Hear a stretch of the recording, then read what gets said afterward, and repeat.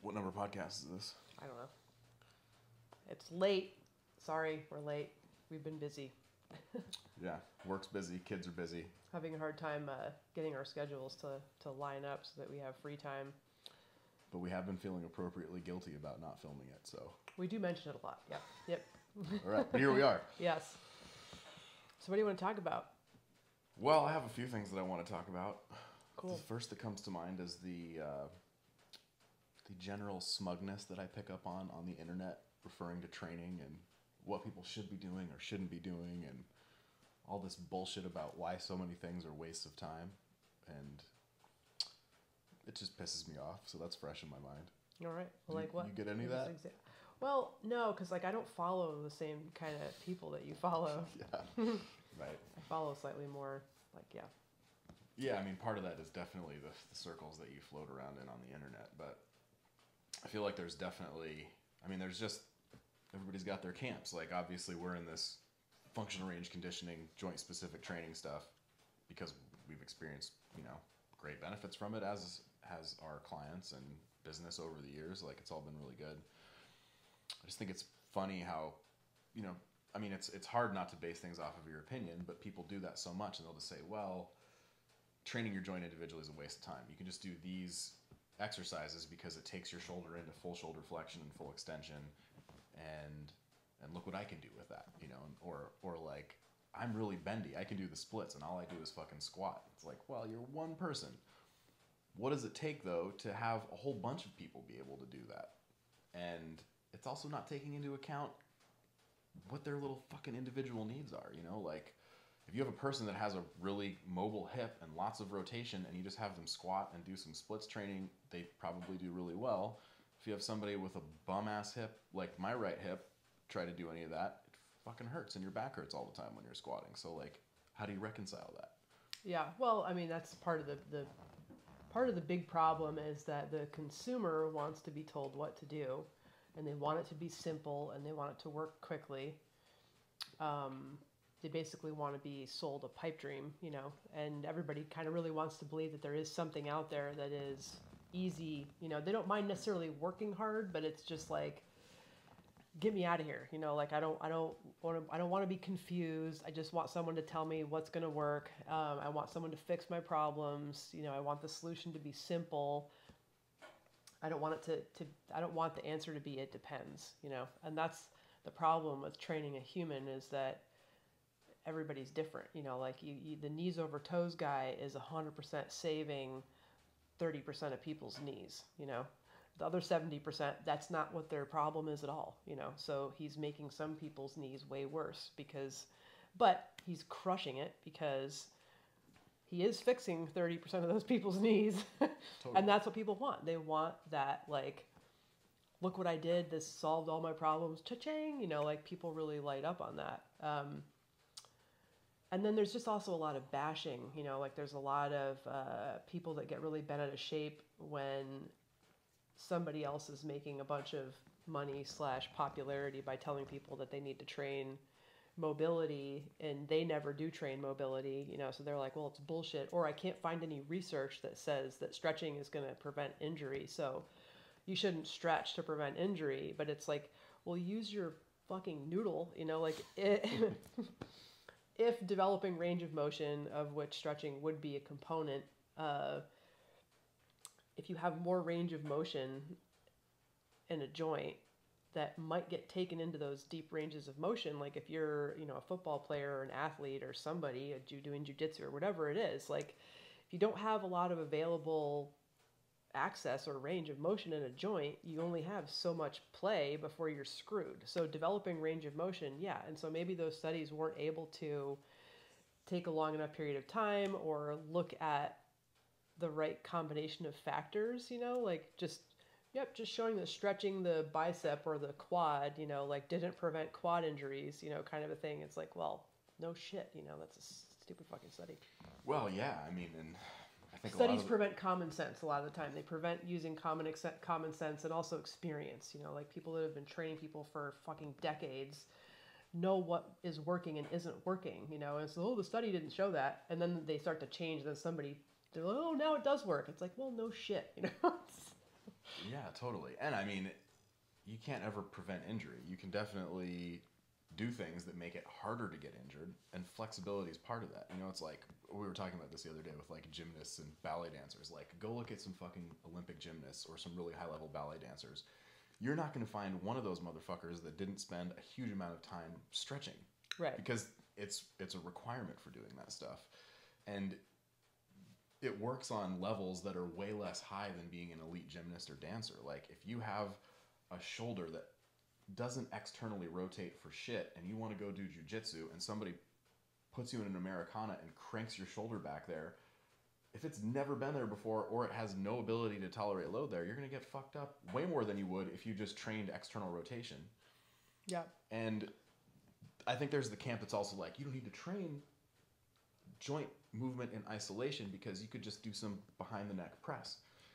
And a lot of the time, those are the people that already have external rotation. They can do behind the neck press and it maintains some external rotation for them, which is which makes sense. But if you Yeah. have a fucking shoulder that stops here and you're just trying to press behind your neck, it's not going to work that well, nor is it going to target that one aspect of your shoulder that you really need more of. And so, yeah, I mean, it it is that thing. Like, it's not this or that. It's probably a little bit of this and that. And there's also just more than one way to skin a cat. I mean, there you know, there's so many different training methodologies out there that are effective. There are different exercises. There are different ways of combining different things. Like, is the only way to develop range of motion stretching? No, you know, like, and yeah, there probably are some limitations to just stretching, like we've been talking about a little bit. Um, uh, but is it a critical tool to be used in conjunction with that? Yeah, like you don't want to try to develop range of motion without using stretching. Like that just seems to be trying too hard. Um, but yeah, the, the, the, the tendency to bash things that aren't understood fully yet. Like, why, why do we have to do that? Why do we have to like attack everybody else? And I mean, that's just the funny thing. It's like we want to, we always want to promise somebody that this one way is the way. This one thing I'm trying to sell you is the thing. Like, all these other things are shitty. Don't do them. You know, it's just funny.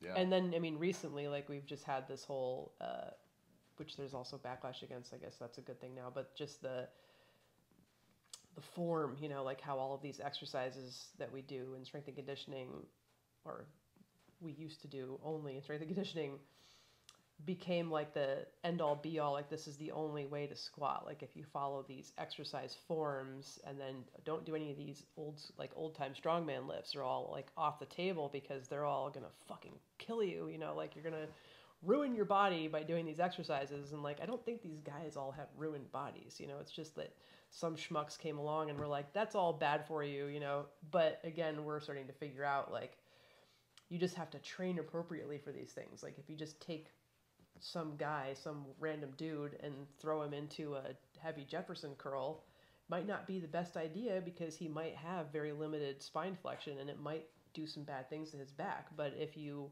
have a goal to do that, that might be better for this person. They might need that. It might improve things. Like it's again back to that it depends slash nuance conversation. Yeah, and you know, I, th- I think where most of that nuance gets criticized is that it's it's looked at as like a, a deterrent for people starting out because they're like, oh, you're making it too fucking complicated. Like, that's also lacking nuance. You know, Right. it's at the at the base level, you should lift some fucking weights, you should do some cardio, and you should stretch things that are tight and make sure that they have a little more capacity than just being able to be stretched. Those are sort of like the three categories that pretty much will solve it. And you can Right. you can you can start and just just start. Like no matter what, you can go do something and figure it out as you go along. That's usually how you figure it out anyway. You're like, well, my shoulder hurts every time I bench press. Well, let's look at your shoulder. And I think that aspect is is often overlooked. There's like the people who are movement optimists and just say just fucking bend and twist and do all these things and your body will get better at it, which in certain aspects it, it does get better at those things if there's enough underlying capacity. But for those people who don't have the underlying capacity to try to do that, it's just like what you said about knees over toes. It's like there's a bunch of people whose knees feel better.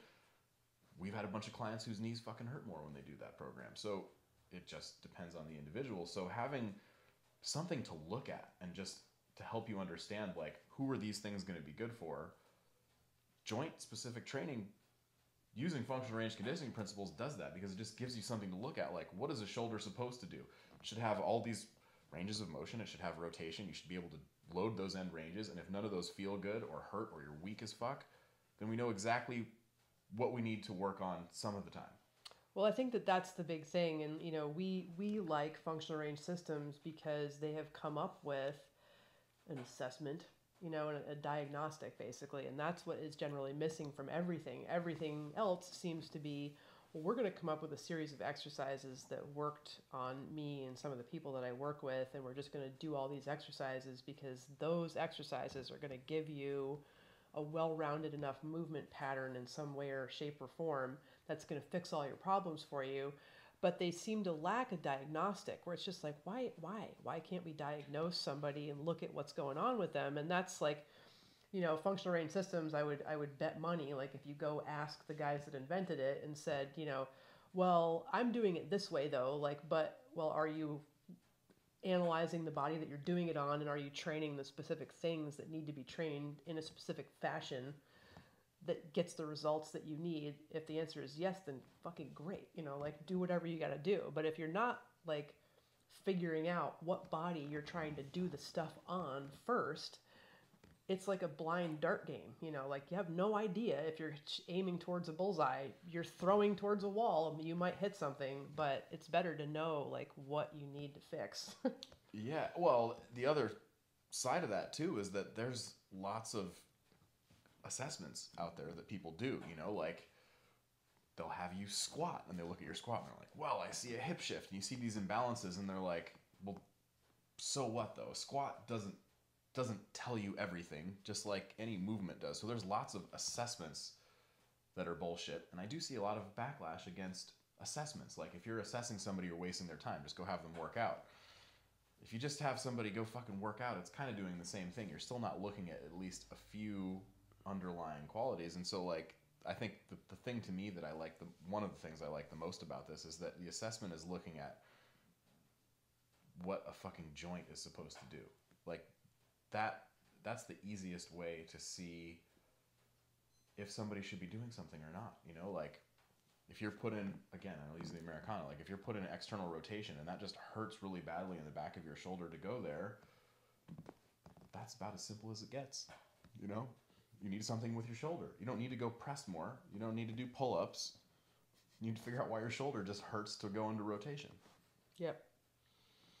Yeah, I mean that's the sort of the funny bit about assessments that look at like a functional movement screen where they look at like a squat, for example. Um, you can't tell how the body is compensating to get into that position. You know, like if you could see, maybe if you could see some sort of like a lit up picture of like where strain and stress and, and you know whatever was happening color wise or whatever you might go oh okay there's way too much pressure in this guy's low back when they're at parallel like that doesn't need to be we don't need to load that. Like how can we change this position so that it fixes these things?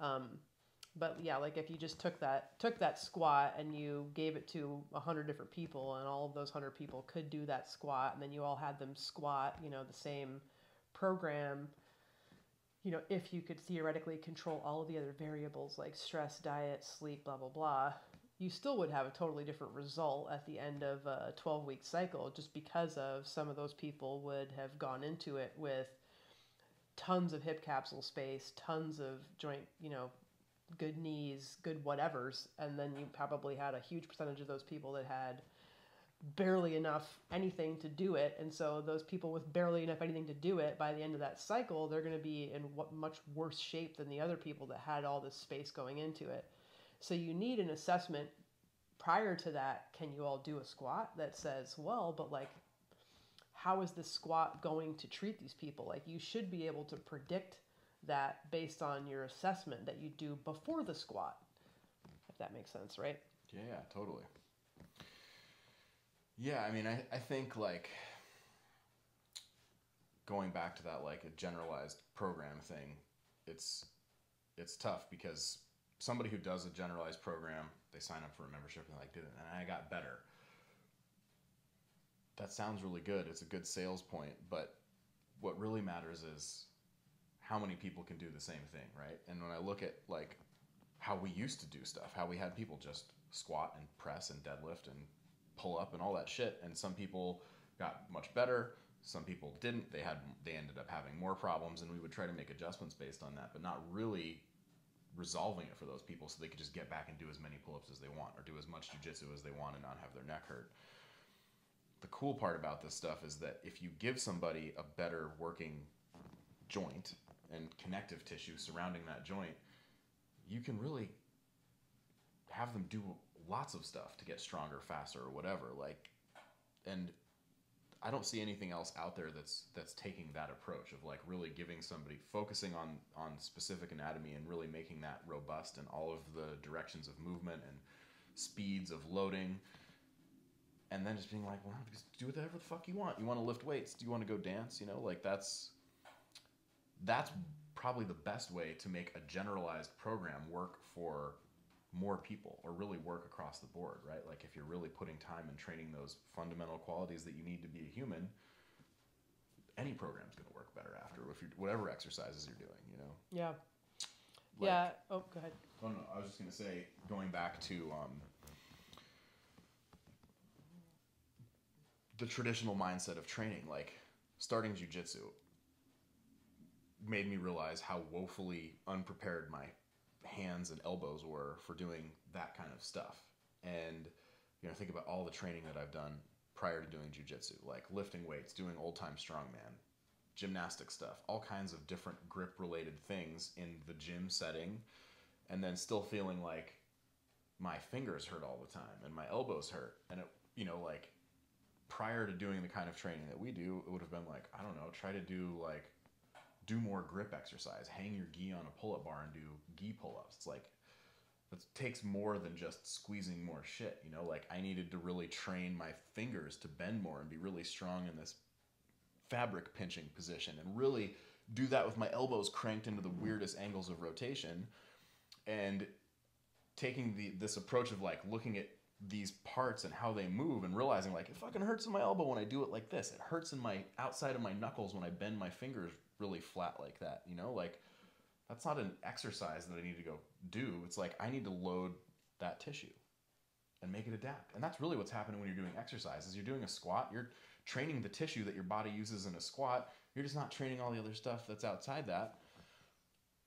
And that leaves big holes in how you move and what you're able to do. And I think it's you have a hard time seeing those holes until you actually do try to do an actual sport. You know, like especially a sport that requires a lot of those Totally. dusty corners, as I say. Like I've been dancing again, um, and it's like, yeah, I just missing so many bits. Like I felt like I was doing a more thorough. Um, training things really thoroughly but it's like i guess i didn't do this i didn't do like a very externally rotated hamstring training it's always pretty neutral you know like i don't i don't get into that maximal external rotation and train my hamstrings but in dancing it's like oh well, that's what you're doing all the time so it's like, Yeah. damn it Well, t- I mean, you know, like if you're unfamiliar with this kind of training, you might be thinking right now, like, well, how the fuck do I do all this? Like, how do I hit all of these parts? And the cool thing about your body is that when you you give it a little bit of information via loading, it, it adapts to that. So you can you can do this stuff efficiently. Like if you have a hip that's that doesn't do some important hip things, you can train that a couple times a week for 10 minutes as you're doing your other training as part of your regular training and it gets better. Like anybody who's worked out knows if they do push-ups with some regularity they get better at push-ups. Your body doesn't know the difference between a push-up and training your hip internal rotation with the exception of different lines of tissue are being loaded but if you give it load it adapts. And so it doesn't have to be overwhelming. Shouldn't be. It should just you know it's more just have an open mind about looking at things that suck at moving and train them yeah specific training. Yeah like uh you know i've heard some people say like you don't need to train shoulder rotation to train your rotator cuff because your rotator cuff is getting targeted in something like a lateral raise. And it's like well it is. That's my i gotta go timer. Um, but but training specific rotation like you're not going to get stronger at pulling somebody this way or resisting this or Unless you just train whatever, unless you're training that. So why avoid training it? You're like, oh no, I'm, I'm good. I got it doing this. It's like, Yeah.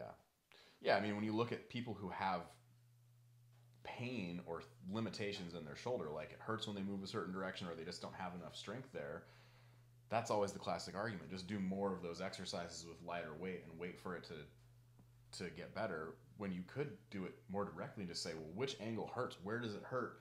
All of that can guide you to exactly what needs to be loaded because that's really what it is. There's tissue in there that needs to be loaded, and your shoulder or any part of your body isn't a couple little parts of the rotator cuff. It's like thousands of lines of tissue that are differently loaded at every individual joint angle, which is why it's usually really specific. Like people are like, my arm's fine, my arm's fine. Oh fuck, it hurts here.